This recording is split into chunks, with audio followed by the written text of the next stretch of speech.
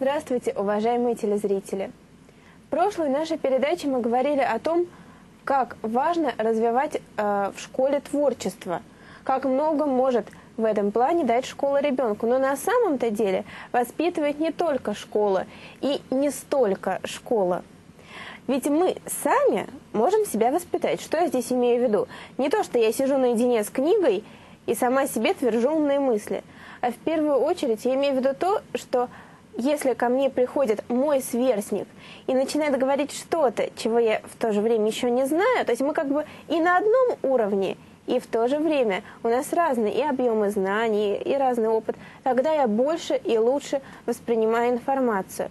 И вот как раз о таких формах сотрудничества, когда мы общаемся на равных, у нас небольшая разница в возрасте, но в то же время нам есть что друг другу рассказать и с чем поделиться. Вот о таких формах работы и не только работы отношений мы с вами поговорим сегодня.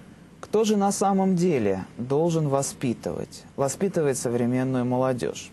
И что думают по этому поводу жители наших городов, жители нашей страны?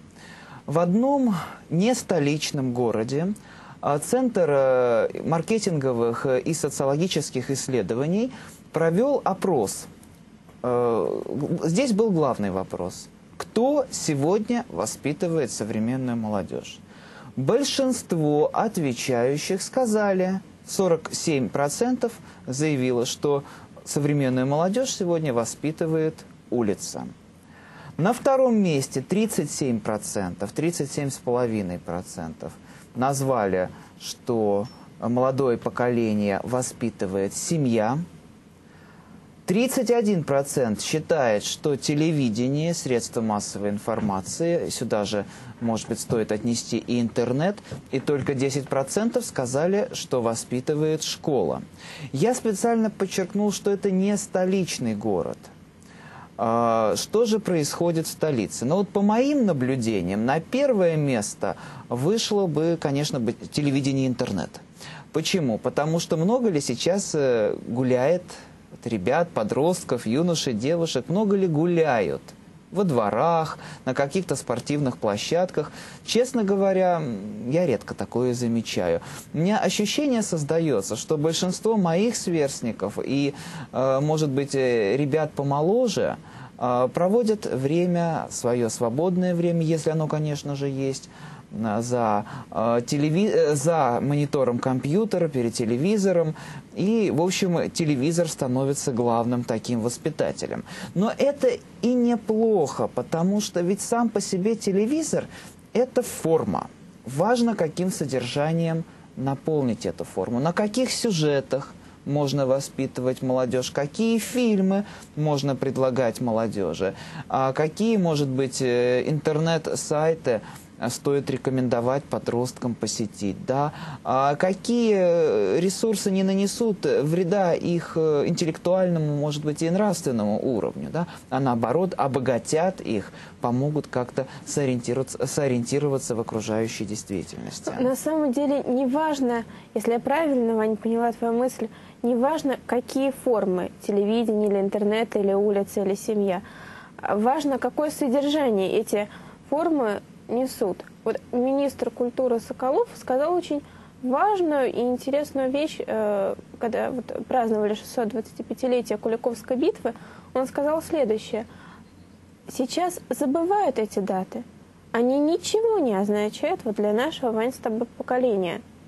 А, и он сказал, вот кто сейчас знает, что принесла России, э, что принесло России стояние на реке Угре? Да никто не знает.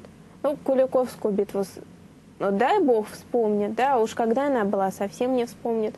А какие были действующие лица, это же не герои, не выдумка, это же не мифические былинные герои, это реальные люди.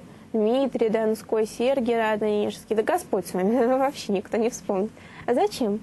Это было давно и неправда. И лично ко мне никакого отношения не имеет. Вот так чаще всего рассуждают э, молодые люди. Ты, Лиза, вот... совершенно права, могу с тобой полностью согласиться в этом. И здесь есть, конечно, недостаток, э, скажем, такой, может быть, термин не совсем а, правильный, а недостаток э, посредников. Да? Кто-то должен стать посредником между молодым человеком, и э, теми героическими сюжетами русской истории, русской культуры, которые могут стать хорошими воспитателями, которые могут направить личность развитие личности молодого человека в нужное русло. Я знаешь еще о чем много думал? Ты сказал, нужен посредник, да? Угу.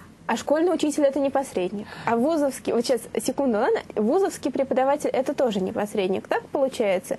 Я себе много раз задавала этот вопрос. Почему мы, студенты, вот, э, я отлично помню, я училась на первом курсе, у нас был потрясающий преподаватель по античной литературе, ну, я не буду называть имя, да, вот, ну, чтобы так. Его никто не слушал. И вот я оканчиваю, думаю, господи, как жалко, что мы его не слушали. Вот почему э, мы не воспринимаем очень часто речь лектора или преподавателя. И мне кажется, я поняла, почему. Э, потому что э, чаще всего эта речь не рассчитана на диалог. У них есть своя правда, она действительно есть. Слава богу, у того поколения прекрасные научные, академические знания. Слава богу, действительно, это все так. Но очень многие, к сожалению, преподаватели не хотят а, вступать а, в диалог а, с учениками. Что получается? То, что ученик не востребован в процессе общения. Точнее, нету процесса общения. Получается, что есть процесс трансляции неких знаний, а общения нет. И вот поскольку личность ученика в этот момент абсолютно не востребована, то и эти знания не становятся для него лично значимыми. И все. Вот вам, пожалуйста, и разрыв поколений. Э, вот, вот да, в чем причина. Не в том, что кто-то не сумел, кто-то глупый. Нет, все очень умные. И наше поколение умное, не будем нас обижать. И поколение наших родителей очень умное, все умные. Но диалога не происходит, потому что не, чаще всего не востребуется личность ученика как собеседника.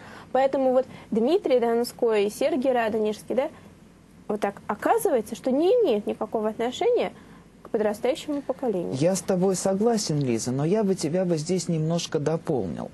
И вернулся бы к понятию стереотип – с которого мы начали цикл наших передач. Вот я говорю «школа».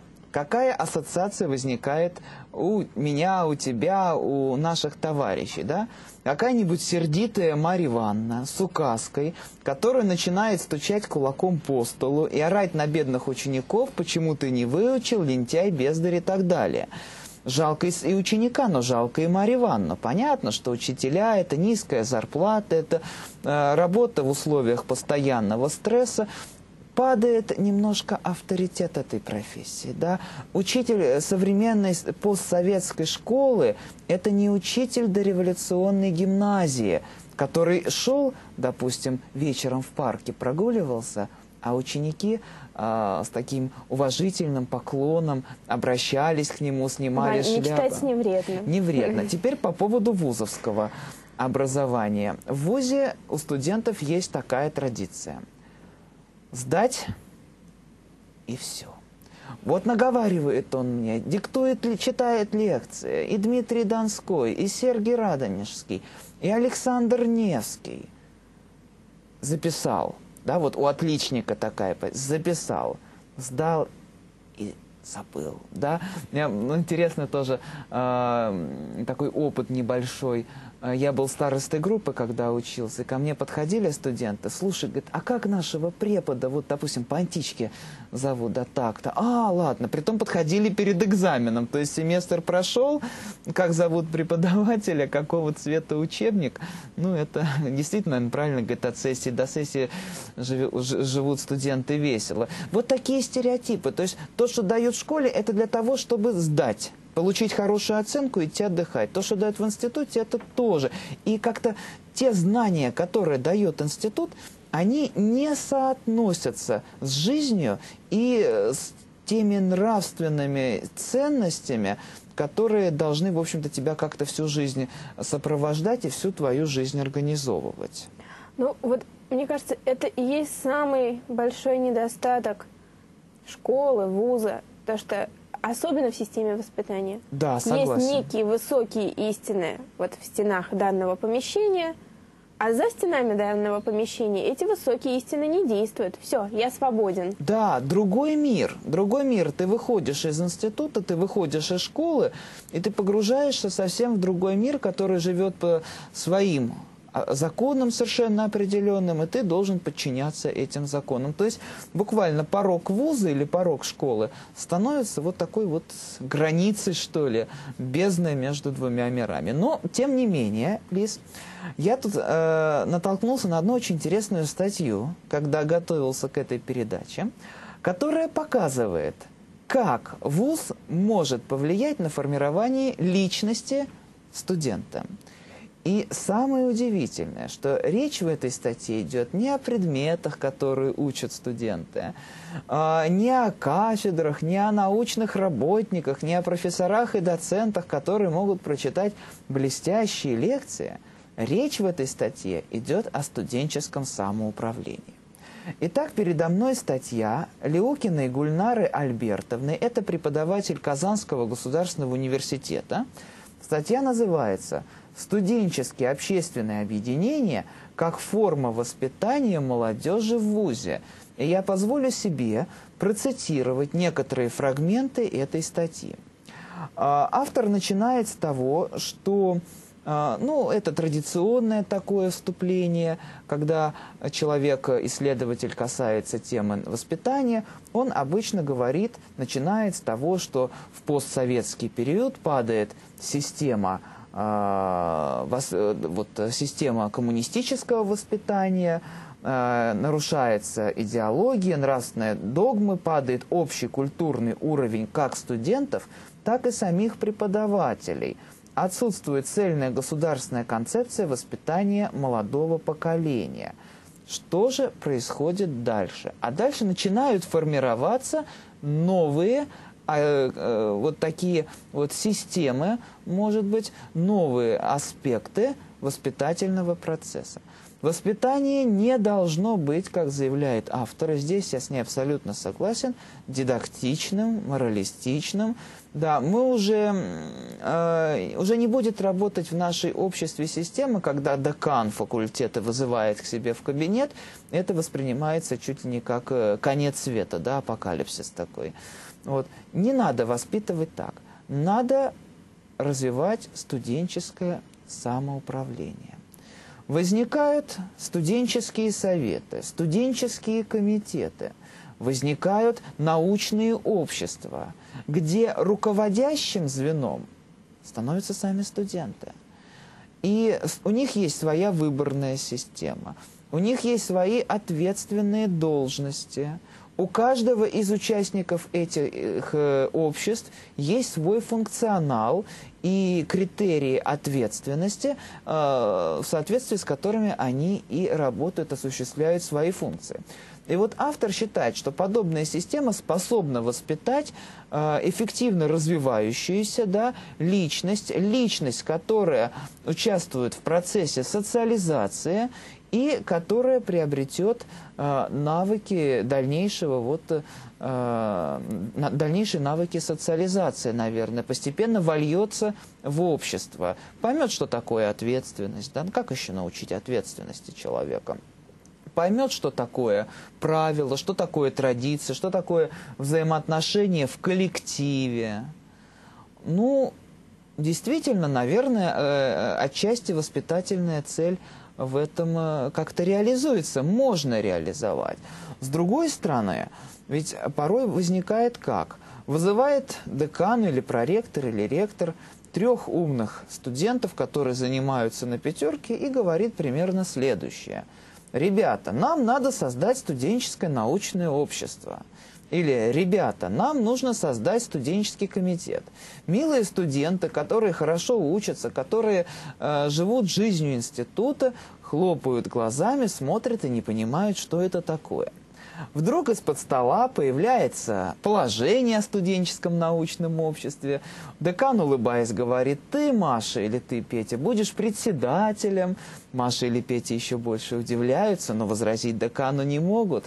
А, если вуз располагает хорошим аудиторным фондом, а, дают аудиторию, а, вешают э, табличку, да, студенческое научное общество, а вот процесс э, деятельности зависит, конечно, и от студентов, да, готовы ли они к этой работе, и от руководителей вуза или школы или другой образовательной организации – которые выступают ли они помощниками, выступают ли они помощниками ребятам, или же осуществляют только такую контрольно-административную функцию. Вань, мне кажется, вот куда более эффективна другая схема. Никогда декан достает из-под стола, как ты сказала. Ну, я просто бумаги. был свидетелем этого. Я поняла, что ты из личного опыта это говоришь. Конечно. Но эффективнее другое, когда студенты приходят к декану с листком бумаги и ему что-то предлагают. То есть, когда инициатива идет не сверху вот так вот, а наоборот снизу, тогда это имеет смысл. Тогда очевидно то, что есть личный интерес, будет серьезная, настоящая, активная деятельность, иначе это формальность. Да, совершенно. И главное здесь сотворчество. Сотворчество. Декан там, преподаватели факультета, может курирующий заместитель декана и студенты. Притом последнее звено должно быть наиболее активное. Последнее звено должно приходить к заместителю декана или к декану. Так, мы такого-то числа хотим провести студенческое научное общество – Задача декана в этой ситуации – дать аудиторию, э, там помочь как-то, может быть, найти хороший стенд, чтобы было яркое, красивое объявление, э, дать объявление, может быть, студенческую газету, если такая имеется, и полностью поддержать, э, в том числе и научными какими-то советами, поддержать эту инициативу. У меня были, у меня сейчас часто возникает такая ситуация, когда декан, заместитель декана, проректор – все делают для того, чтобы помочь э, студентам самореализоваться, но бывают и такие ситуации, когда просто вставляют палки в колеса, то не так написал заявление, то не ту аудиторию попросил, и это тоже бывает, увы, это э, в каждом вузе свои традиции, своя система, своя иерархия, и тут, конечно, многое зависит и от тех условий, которые создают руководители для того, чтобы ребята могли вот, воплотить свои идеи э, на практике. Но вот ты знаешь, что меня смутило, Лис, в этой статье? Говорит, что главное – это формирование лидерских качеств. Главное формирование лидерских качеств, пусть они выбирают э, из своей среды там, лидера, да? пусть они проводят широкомасштабную выборную кампанию, да? пусть выборы будут альтер... на альтернативной основе. Но не приведет ли это к карьеризму и к такому потом в дальнейшем приспособленчеству?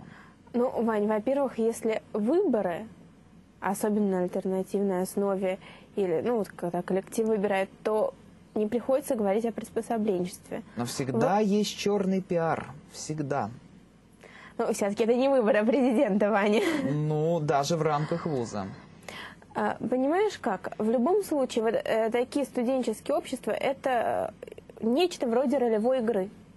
Человек, который будет учиться быть лидером, это в первую очередь он учится организовывать, нести ответственность, не только мечтать о том, как я буду лидером, да, вот как будет здорово, он в реальности попробует, да, что это такое быть лидером.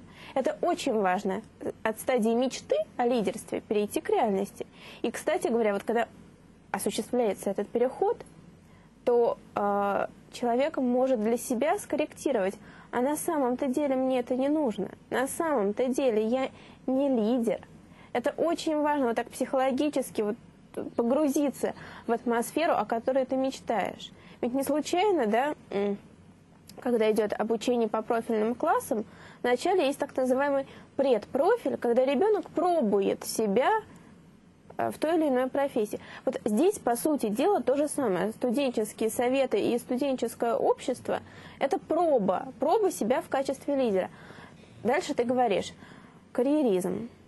Давайте задам такой вопрос. Хорошо, он окончит вуз, и он пойдет работать в какую-то компанию. И там он будет пять лет пытаться сделать карьеру там какого-нибудь топ-менеджера, а скорее всего не 5, а 10.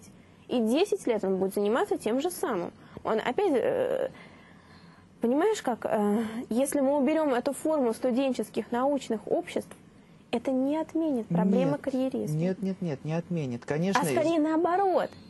Студенческие научные общества, они дают шанс попробовать себя. Да. Ну, Оценить ну, конечно, реально конечно. свои силы, сопоставить. Конечно. Вот идеальный я образ и реальный я образ. Угу. Я с тобой здесь согласен. Все-таки много зависит от того, какая атмосфера в ВУЗе. И будет ли помогать это общество воспитывать человека, или же э, уведет его в какую-то другую сторону. Но ты знаешь, сейчас мы пока говорим о том, что воспитывает молодежь. Да? Кто, вернее, воспитывает молодежь. А теперь я предлагаю поговорить о том, как молодежь воспитывает молодежь. Ну, может быть, ребят помоложе. И, наверное, в этот момент стоит пригласить к нам в студию нашего гостя Артема Чернобаева, депутата молодежного парламента Рязанской области. Так встречаем нашего гостя. Артем, очень рада видеть тебя в нашей студии. Ну и первый мой вопрос тебе. Я знаю, что ты возглавляешь молодежные объединения, молодежные организации сами э, ну, различных направлений. Вот расскажи о них вкратце, чем они занимаются и чем ты занимаешься в них. Ну, так уж сложилось, что я занимаюсь педагогической деятельностью, и так сложилось со временем, что я занимаюсь как раз патриотическим воспитанием. У нас в Рязанской области существует очень много организаций, которые занимаются как раз патриотическим воспитанием детей. Хотелось бы остановиться прежде всего на православных витязи. А православный витязь – это организация, которая учит ребята, учит культуре Рязанского края, культуре России – учит их правильно владеть оружием, служить Родине, любить Родину прежде всего. И вот эта организация, которая наиболее полно себе содержит вот эту вот функцию патриотического воспитания. Существует много других организаций, как э, тоже неплохая и в чем-то патриотичная православная, неправославная организация «Лист», но она носит прежде своей задачей это воспитать будущих лидеров – но, естественно, сейчас существует традиция, что если мы воспитываем лидеров, мы воспитываем прежде всего лидеров России, то есть патриотов. И патриотическое воспитание, оно тоже имеет свое очень важное значение. Существует и молодежный парламент Рязанской области, который собирает э, в своих стенах лучших из лучших молодежи Рязанской области путем выборов. Как раз вот тоже Ваня говорил про выборы. Вот, да, существуют действительно выборы и студенческое самоуправление, и выборы в какие-то органы молодежной власти, если так можно их назвать, молодежные парламенты, советы. И поэтому молодежный парламент имеет в себе вот, вот, э, тех людей, которые занимаются в разных сферах, в разных областях. И когда мы встречаемся вместе на сессии молодежного парламента, на комитетах, мы как раз решаем вопросы, в том числе есть у нас комитет о патриотическом воспитании, в том числе вопросы о патриотическом воспитании образовании, что очень важно как раз сейчас, вот именно не только в Рязанской области, во всей России, наверное, наиболее самый актуальный вопрос. А вот насколько важны, насколько легко принимаются вот эти патриотические идеи, лозунги, ну, надеюсь, не только лозунги, а молодежью? Ну, за всю молодежь, конечно, трудно сейчас сказать. Не, ну вот в ваших именно объединениях. Вот э, в молодежной организации, детской молодежной организации «Православные витязи», там, конечно, может быть, э, есть четкая программа воспитания как раз патриотического, но, если честно сказать, там первая и самая главная функция находится у руководителя этой молодежной организации. Руководитель, полковник, действующий полковник Виктор Иванович Тихонов, он настолько является большим авторитетом для ребят, что настолько ведет э, соответствующий образ жизни, то есть э, то, о чем говорю, так себя и веду. Естественно, дети, дети чаще всего из неблагополучных семей, дети трудные подростки. И дети начинают брать с него пример. То есть им не навязывают, а они сами начинают принимать пример с Виктора Ивановича Тихонова. Такие организации, вот как пример, э, существуют и в лагерях. То есть если какие-то есть профильные лагеря, то дети часто берут примеры с вожатых. А если это православные лагеря, вот в Рязанской области их два в прошлом году прошло активно, то, естественно, дети уехали, будем надеяться, что хотя бы с частичкой того, что они приобрели, никогда не забудут от вожатых. Угу. Вот. То есть лидер, прежде всего, это руководитель организации, который и воспитывает молодежь в патриотическом духе. Артем, а, потом... а вот у меня такой вопрос возник, да? А почему вот э, у тебя появился интерес к работе с молодежью? Ведь мы, в общем-то, воспитывались все в одно время, когда, ну, как-то культивировался, наверное, немножко эгоцентризм и вот этот вот лозунг, который набил уже оскомину «бери от жизни все». И невольно, наверное, у каждого из нас возникала мысль, да, мне нужно как-то цепляться за эту жизнь, мне нужно хвататься за эту жизнь, остальные не мешайте. Да?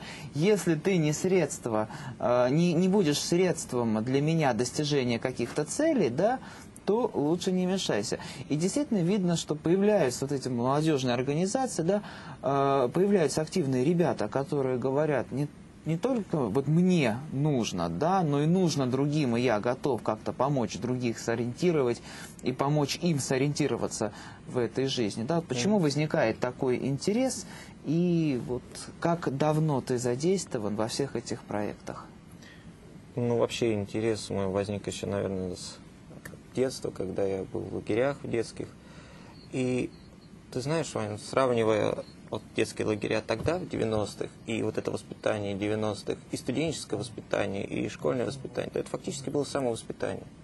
Не потому, что учителя плохие, не потому, что плохие профессора, а, наверное, потому что никто не занимался. Да и сами студенты не хотели заниматься своим саморазвитием. Вот. А когда уже поступил в университет, э, Рязанский государственный университет, э, на отделение теологии, там уже появилась э, надежда на то, что мы будем заниматься чем-то для нас интересным. Как раз э, в то время начал формироваться, открываться студенческий теологический отряд. Это прежде всего миссионерская деятельность, это вожатые в лагере, это детские дома, ну, просветительская работа. Если есть возможность, то работа на телевидении, в том числе у нас многие студенты работают на телевидении. Вот. И это все стало очень интересно, это все стало очень возможно и доступно. И я, в том числе и остальные ребята, студенты-теологи, мы создали этот отряд, долгое время ездили по детским домам, долгое время работали вожатыми в православном лагере. А потом так сложилось, что помимо студенческого отряда появились очень многие организации, с которыми мне было интересно работать. И последний год как раз такой организацией является молодежный парламент, который является представительным органом. Если что ты хочешь донести до молодежи, то проще донести через молодежный парламент в целом. И я думаю, что любой студент сейчас, который учится в вузах, он прежде всего думать должен не о том, вот ты правильно сказал, что вот многие студенты думают о полезности, о карьерности, о бесперспективности той деятельности, которую мы сейчас, о которой мы сейчас говорим, то есть студенческой деятельности вне учебной. Ну, ты знаешь, если все будет вот на этом уровне, сводиться к уровню денег, к уровню карьеры, к уровню завтрашнего успеха, тогда, наверное, для чего воспитывается новое поколение? Вопрос появляется. Появляется вопрос, для чего создаются эти молодежные организации, студенческие организации. Кто туда приходит? Карьеристы, тогда нет смысла держать эти организации. Вот, знаешь, мы недавно столкнулись, вот, можно я расскажу, недавно столкнулись с такой позицией, молодежи в Рязанской области, что есть лагеря, а работать в них некому. То есть сами студенты, когда им говоришь, ребята, не хотите ли вы поехать вожатым в лагерь, получить опыт, набраться здоровья, отдохнуть. На самом деле дети это такой позитив, это такие эмоции, это потом полгода просто, если кто работал, тот знает, отходишь от этого с прекрасными впечатлениями. Никто не хочет. Всем нужна то ли карьера, то ли быстрые легкие деньги, то ли просто сидеть дома и непонятно чем заниматься, но лишь бы вот не быть ответственным за детский коллектив. Лишь бы не быть ответственным за что-то. И вот эта привычка к неответственности, она, к сожалению, так именно и формируется, когда не хотят, не хотят брать на себя ответственность. И получается, что, к сожалению, фактически работать в детских и в общественных организациях все меньше и меньше кому хотелось бы. Это очень печально. Ты видишь какие-то пути преодоления?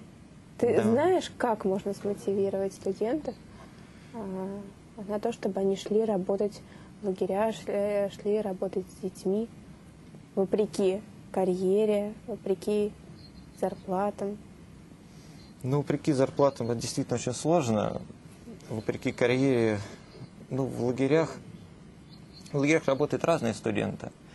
И, конечно, если девочки работают, девушки в лагерях, студентки, начальных курсов, старших более курсов, то, естественно, они будущие матери. То есть это для них такой опыт, опыт общения с детьми, опыт частичного воспитания детей, ну, в какой-то степени. За 21 день они становятся как семья, особенно для маленьких детей, для детей младших отрядов. Вот. И естественно, что появляется такая форма работы э, с детьми, когда я являюсь старшим другом, я являюсь старшим товарищем, может быть, для маленьких детей мамой, а дети являются для меня позитивными, ну, смыслом позитивных ощущений. Вот это вот. Э. И получается, что ребята, студенты, они должны понимать, что это такое работать вожатым. Особенно девушки наши, особенно наши студентки, что такое работа с детьми. Не только даже вожатых в общественных организациях, может быть но и вообще в каких-то студенческих советах, присутствии хотя бы. То есть это активная форма работы, где студент пытается реализовать себя не через карьеру и перехождение через голов, там, ломание кому-то там ребер или как это еще называется, не для самодостаточности, то есть для денег, а сделать себе карьеру путем, ну, что ли, как сказать, показать себя, проявить свои способности – доказать, может быть, самому себе прежде всего, что ты способный человек, что ты можешь этим заниматься. И, наверное, если вокруг тебя соберутся люди, которые считают, что ты действительно можешь заниматься, ты можешь сказать «да», вот я в этом случае, вот я вот лидер, когда вокруг меня собрались, а не я использовал. Когда не я пошел Хорошо зарабатывать сказал. деньги, а э, деньги сами при, приложились к моему труду. Понимаешь, когда не ради денег делается какое-то дело, а делается дело ради интереса, ради не материальной выгоды, а какой-то духовной выгоды, ради самоудовлетворения хотя бы. А деньги, они придут. Ну, невозможно так, я не верю, даже в современных условиях, что если человек активно чем-то занимается, если человек грамотный, если он умный и хорошо вот в этом соображает, и делает свое маленькое дело, чтобы никто не заметит. Ну, не верю. У нас существуют соответствующие молодежные структуры, которые должны замечать талантливую молодежь и как раз всячески ее проталкивать а, к тому, чтобы она занимала какие-то важные места в молодежной политике, а, а не как... те карьеристы, которые какое качество у лидера должно быть главным, доминирующим, да, у лидера, за которым пойдут дети? Вот что должно быть мостиком между лидером и вот этой вот толпой ребятишек, которая нуждается в поддержке, нуждается в помощи, которая наверняка пойдет за ним? Ну, ты знаешь, вот самое главное это все-таки честность и доверие. Вот но доверие формируется из еще многих-многих очень э, факторов, но доверие – это самое главное при работе с детским коллективом. И с молодежным тоже самое коллективом. Если тебе твои ребята, с которыми ты работаешь, э, волей случая или, или э, вожатым в детском лагере, не доверяют, соответственно, они не будут с тобой работать, они не будут видеть в тебе какого-то авторитета, твое мнение не будет учитываться. Соответственно, как создать условия доверия? Ну, это прежде всего честность, наверное, по отношению к своим э, ближайшим сторонникам, людям, которые вместе с тобой делают общее дело. Это не превозношение себя, вот я лидер, я вот руководитель, вот я там руководитель того, я председатель этого молодежного сообщества, а прежде всего какое-то человеческое общение, дружеское общение. Вы работаете коллективом, и никогда не отграждать себя от коллектива. И, наверное, честность, коллективизм и, наверное, общее дело и здравый смысл, рассудок. То есть, когда человек подходит к каждому делу ответственно, подготавливает, разрабатывает, и действительно какое-то мероприятие или там смена, э, какой-то круглый стол проходит на должном уровне.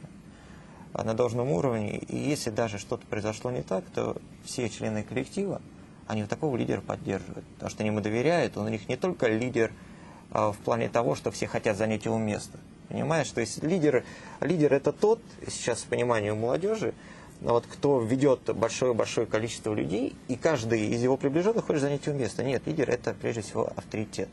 Это тот, к чему мнению прислушивается. Хотя можно разделять эти понятия, но вот я считаю, что лидерство без авторитета это не лидерство, это фикция. Это, это обманывание толпы. Это, это не команда. Вот так, наверное. А вот если вернуться к разговору о молодежных организациях, как возникла такая идея вот в православном Витязе соединить военное дело, э, так, историческая составляющая, да, там, как я понимаю, mm-hmm. есть, и религиозная составляющая. Как, э, вот, почему решили соединить? А, руководители организации, вот, если там ты, Вань, ты Лиза, обращали внимание, вот когда я говорил, он православный человек, а, но был еще, конечно, один важный фактор. То есть одного того, что руководитель организации православный человек и действительно действующий офицер, а, полковник, недостаточно для создания такой достаточно крупной организации в Рязанской области. Там около 500 детей, представьте себе. То есть это, это не 30 круто. человек, это 500 угу. детей. И был такой у нас в Рязанской области а, и сейчас есть Свято-Богословский монастырь. Угу. А вот при нем э, э, раньше был монахом игумен Виталий Уткин. Теперь уже игумен, теперь уже живет в Иваново. Это одиозный человек. Вот, если он меня слышит, вот, э, передаю привет огромный, честное слово, игумену Виталию Уткину. И они вместе с Виктором Ивановичем, вместе с Святым Богословским монастырем, с его молитвенной поддержкой, создали эту организацию. И тяжело было поначалу, да. В Тилисе негде было организовать, лагеря проходили. Трудно было выпросить, может быть, выпить денег на лагере патриотический, военный летом. Но, знаете, со временем все пришло, и со временем уже вот эта организация устоялась, и уже сами родители привозят детей и устраивают даже какой-то конкурс, может быть, кто-то пропал в православный видите, кто-то не попал. Причем... А вот эти дети потом идут э, по военным, да, э, военную карьеру строят? Вообще это не обязательно, это не предусматривается самой организацией. Ну, как заставишь человека, если он не военный, если он вот получил тот заряд энергии, получил вот ту возможность обучиться в православных витязей и не хочет дальше работать вот, ну, военным. Но если паренек э, действительно хочет, активный паренек, старшеклассник, хочет поступить э, в военное учебное заведение, то про сан видите, существует договор с тем же самым институтом связи. У нас в Рязани, который просто, ну, то ли без экзаменов, то ли с какими-то огромными бонусами, э, с огромными приоритетом берет как раз студентами вот этих ребят. И много очень поступили и учатся. Вот у меня друг тоже поступил, учится на четвертом курсе, угу. скоро закончит. Вот я как понимаю, изначально цель была такая, создать э, ну, какой-то костяк армии, думающий, да, не просто подчиняющийся, но понимающий, зачем он подчиняется. Э, люди, которые знают свою историю, понимают, что ну, если не дай бог воевать, да, то за что они будут воевать? И это люди э, с очень крепким религиозным православным сознанием, да, укорененным в традиции. Mm-hmm. Вот так вот, да?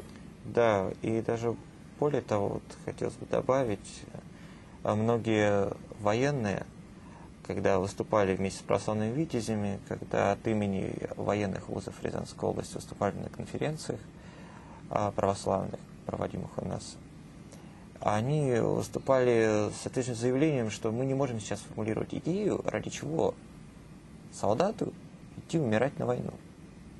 А вот э, за родину это очень хорошо, но нет идеологической базы в нашем государстве пока. Та база, которая была разрушена, а новая фактически только формируется. Слава богу, она начинает формироваться, конечно.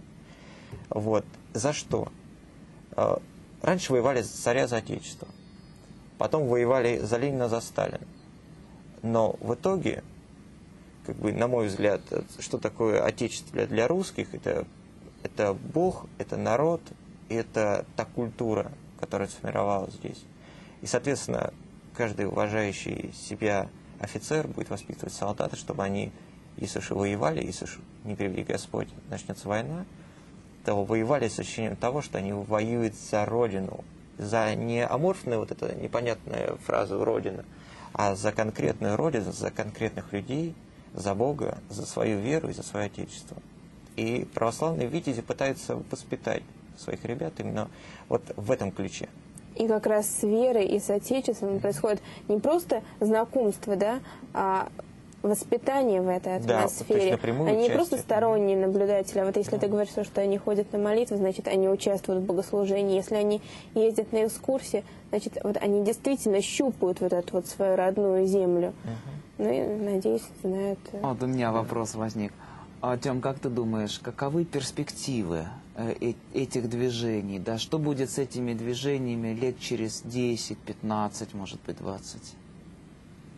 Ну, как тебе сказать, ты знаешь, очень сложно всегда прогнозировать такие вещи. Но если наша страна пойдет по пути к какому-то ну, укреплению, совершенствованию, накоплению своих традиций и будет заботиться о молодежи, и будет какая-то целенаправленная молодежная политика, тогда, я думаю, эти организации не то что не исчезнут, они будут развиваться. Но если государство, опять же, или какие-то местные руководители Э, почувствовать, что эти организации, ну, не нужны, но вот денег жалко дать, там жалко организовать, помочь детский лагерь, жалко помочь организовать то же самое, у нас здесь замечательный, вот как бы по разностороннему изучению, то была патриотическая организация, теперь бизнес, э, молодежный бизнес-клуб тоже есть. То есть у нас разносторонние организации для молодежи. И они исчезнут могут в двух случаях. Либо молодежь прекратит приходить в организацию из-за ненадобности их просто закроют. Либо государство прекратит заниматься молодежью. Но я надеюсь, что государство молодежи заниматься не прекратит, а наоборот усиливает свое внимание как раз воспитанию молодежи. А ребята молодые, вот по э, детям в лагере это видно, что они, конечно, может быть, и не то, что мы, которые там больше альтруисты какие-то, больше что-то делали всегда прежде всего не с финансовой подоплекой, а прежде всего идейно, даже вот даже мое поколение, как ни странно, вот, они все равно остаются людьми и остаются настоящими патриотами нашей Родины. И скольких я в лагерях не был, не, не даже дело не в православных лагерях, дело в лагерях вообще, в детях вообще. То есть дети хорошие, и они будут приходить в молодежные организации. Э, надо их создавать, даже более того, их надо создавать в большем количестве, чем они есть сейчас. И я уверен, что при соответствующем финансировании, при соответствующей хотя бы поддержке,